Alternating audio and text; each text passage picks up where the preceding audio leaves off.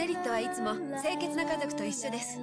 家族みんなで使ったなーって人多いんじゃないかな。実は私も。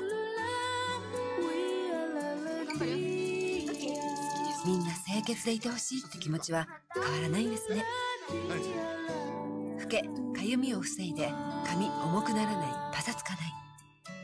みんなの髪にちょうどいい。新しいメリット。